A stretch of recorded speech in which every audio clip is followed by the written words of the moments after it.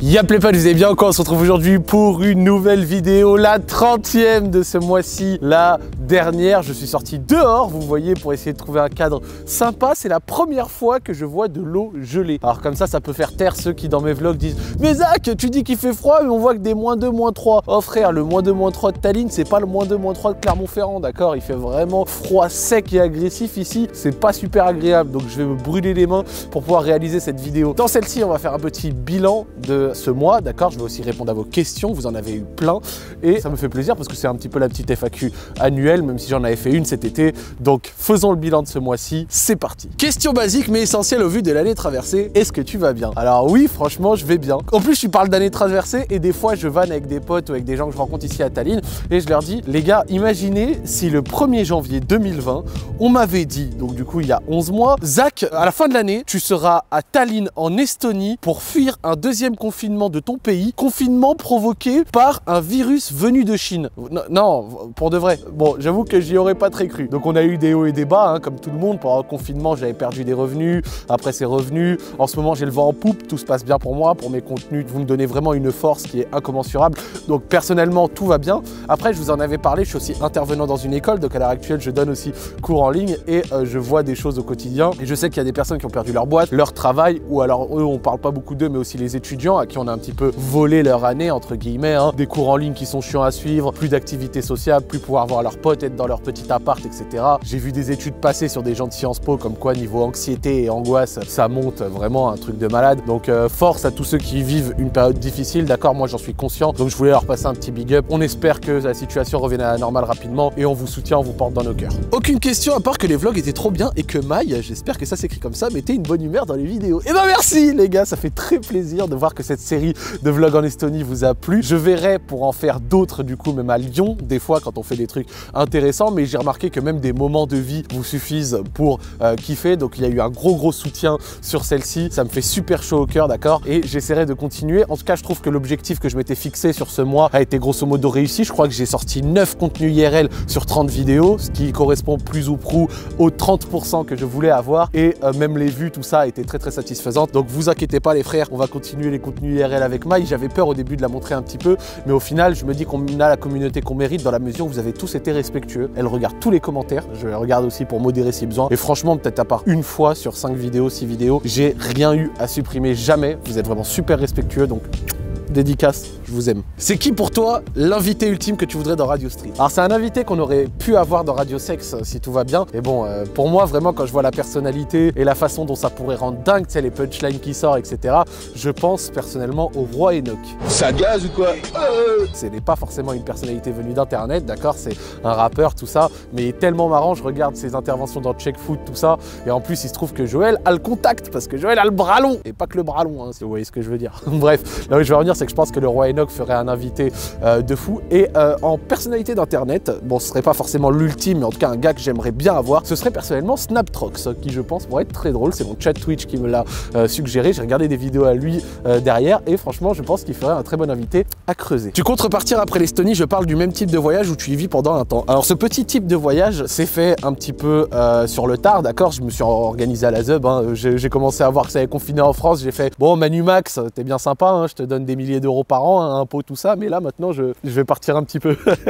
Donc oui, franchement, je vous ai cassé les couilles pendant des années à dire que j'aimerais bien faire une expérience à l'étranger. Et ben cette expérience que je viens de faire en Estonie m'a conforté dans cette idée. J'ai vraiment envie d'aller passer une petite année que à l'étranger, histoire de découvrir des cultures, de pouvoir, tu vois, euh, m'aguerrir. Je suis avec madame, j'ai 25 ans, tu vois, je me dis, c'est le moment, si j'ai envie de vivre à l'étranger, faire un petit kiff, euh, de le faire. Donc je verrai pour l'année prochaine, mais ça m'a conforté euh, dans mon idée. Par contre, le seul truc que j'ai à dire, c'est que si je devais faire, je partirais peut-être dans un pays un peu plus chaud parce que franchement le froid plus euh, la nuit à 15h30 au bout d'un moment ça pèse un peu sur le moral quoi tu vois ce que je veux dire. Mais en dehors de ça franchement très très cool. Et pour avoir parlé avec des Estoniens ils m'ont dit mais c'est cool que t'aies kiffé Tallinn parce que t'as kiffé Tallinn un peu à la pire période de l'année parce que nuit à 15h30 froid tout ça c'est un petit peu infernal. En dehors de ça franchement l'Estonie très très lourd. Venez. Et si je devais donner peut-être un indice ou en tout cas un pays qui serait peut-être idéal pour moi au vivre j'irai peut-être au Portugal pour aller dédicacer mes amis portugais. Votre pays est fabuleux. Zach, en tout cas, l'apprécie. Ça, Isaac, est-ce qu'avec le confinement et le Covid, tes angoisses sont revenues? Alors, j'en ai parlé dans la première question. Vous savez que j'ai fait des crises d'angoisse, je vous en avais parlé. Avec le confinement et le Covid, mes angoisses ne sont pas revenues. Donc, c'est-à-dire que je n'ai pas eu de retour de crise d'angoisse, de trucs comme ça, machin.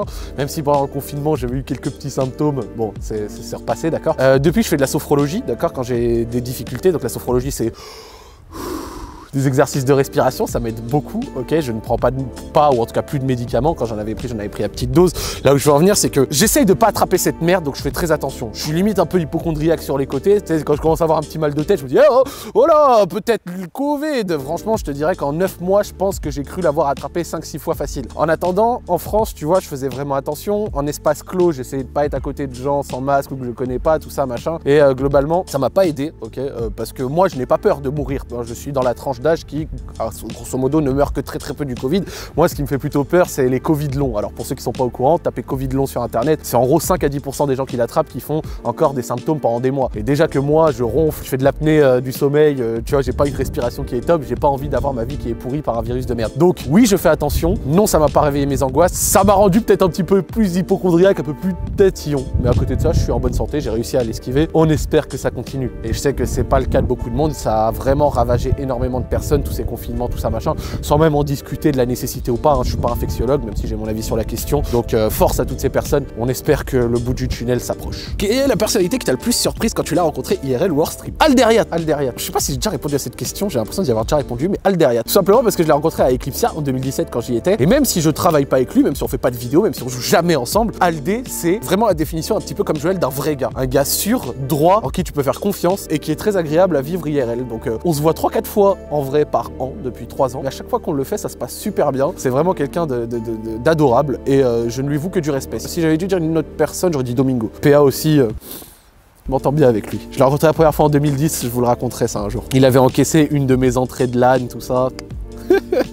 ça l'histoire. Hello Zach, j'espère que tu vas bien. Te voir aussi épanoui dans ton travail fait énormément plaisir. Merci les gars. Parle-nous un peu plus de tes projets de locaux notamment. Alors je vous explique. Ces derniers temps, je me la suis donné. Je me la suis donné sur YouTube, tout ça machin. Et euh, j'ai même une annonce à vous faire un petit peu à la fin. Je me la suis aussi donné sur Twitch. Et en fait, le fruit de ce travail, c'est qu'en ce moment, je dégage assez d'argent, en tout cas pas mal. J'ai peut-être envie d'en faire une utilité qui va m'aider à encore améliorer mes contenus, pouvoir en produire plus et être réellement dans un environnement de travail qui est idéal. Et j'ai vu certains en commentaire qui m'ont dit qu'avoir des locaux, ça me professionnaliserait peut-être un peu trop. Moi, je pense qu'avoir un petit local, tu vois, un petit truc sur Lyon, ça me motiverait encore plus dans la réalisation de concepts pour pouvoir travailler correctement, pour me faire un petit décor, tout ça. Je sais pas, moi je pense qu'avoir des locaux, ça peut être positif pour moi. Donc, pour en revenir là, en ce moment, je vais continuer à carburer. J'ai dépassé les 1000 subs sur Twitch. D'ailleurs, n'hésitez pas à passer de temps en temps sur mon stream, ça fait très plaisir. Sur YouTube, tout va bien, je fais pas mal de vues. Je vais continuer à charbonner de cette manière. Et si je continue à charbonner de cette manière et que ça tient, je me donne comme fin janvier comme objectif. Si fin janvier, ça continue à fonctionner de cette manière, je me dis que peut-être il y aurait la moyen de prendre des locaux au printemps. Donc c'est un petit peu euh, mon projet principal. Pouvoir prendre des locaux et pouvoir prendre aussi un monteur à plein temps. Mais ça, a priori, c'est réussi, hein, n'est-ce pas, monsieur Chiki, monteur de mes vidéos? Tu t'es battu avec qui en Corée?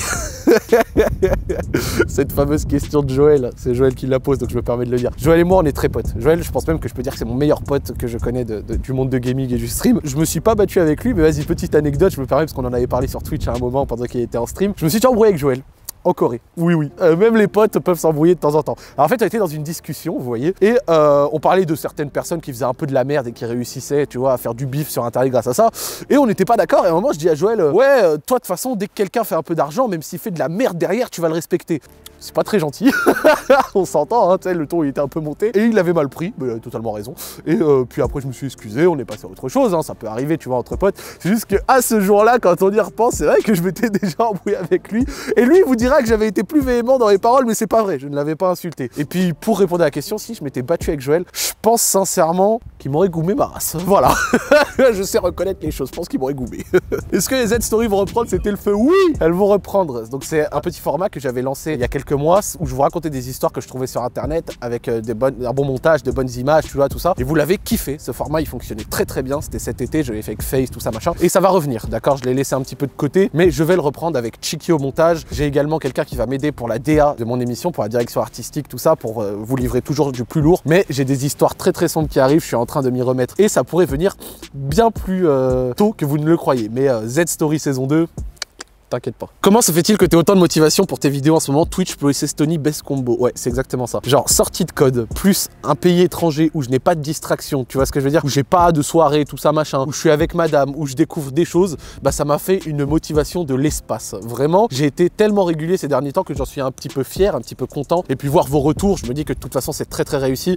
Donc on va essayer maintenant, tu vois, d'importer cette motivation en France quand je rentre. Parce que je rentre vendredi prochain le 18. Ça m'a vraiment fait prendre contre, enfin comprendre certaines choses. Et comme quoi, même quand on fait un métier depuis 5 ans, bientôt ça fait 5 ans que je fais ce métier, ben euh, on en apprend toujours et j'espère enfin atteindre cette régularité tant recherchée et ne plus vous donner euh, des moments où pendant deux semaines je sors plus rien parce que mentalement j'en avais besoin. Il va falloir que je réussisse à trouver un équilibre ou même quand j'ai besoin de me reposer, j'ai au moins des contenus toujours prêts. Mais euh, le combo Estonie, vous faire découvrir des choses, sortie de code, envie de stream, moi une vidéo par jour pendant un mois, ça a vraiment fait tout péter et vous inquiétez pas. Comment euh, définirais-tu ta figure au sein du YouTube Twitch Game à présent? Alors, euh, ma figure est très très simple. À mon sens, je suis pas le plus gros. Un demi-million d'abonnés euh, presque sur YouTube.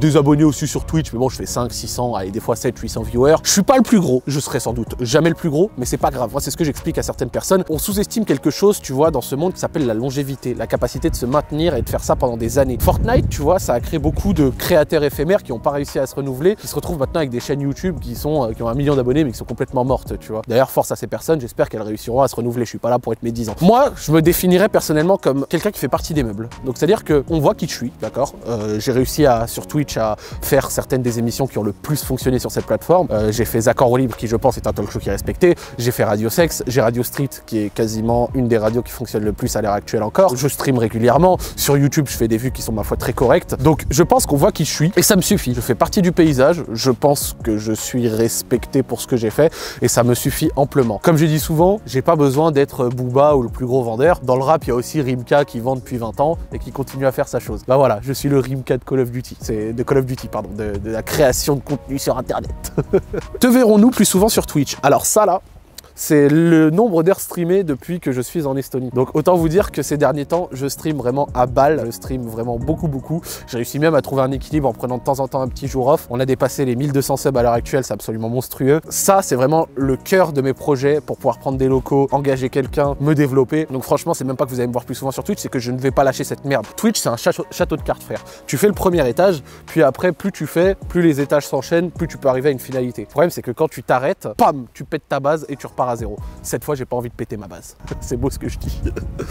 Ton voyage préféré en Europe de l'Est? Cracovie, mec. J'avais fait déjà un vlog avec madame. D'ailleurs, c'est la première vidéo que je faisais avec ma femme à euh, cette époque-là. Et euh, ouais, Cracovie, ça avait vraiment été la ville que j'ai préférée. À l'Est de l'Europe, je sais pas si ça compte comme Europe de l'Est, mais j'ai fait Prague, Vienne, Cracovie, Tallinn maintenant, Sofia. Et la ville que j'ai vraiment préférée par l'histoire qu'elle dégage, par la beauté de celle-ci, par la taille, par les choses à faire, ça a vraiment été Cracovie. La Pologne, ça a été une superbe expérience. Donc je dédicace mes frérots polonais. Il y a de la frappe chez vous. À quand ton Fast and Furious sur Code QG On l'a enregistré hier, donc a priori c'est bon, hein.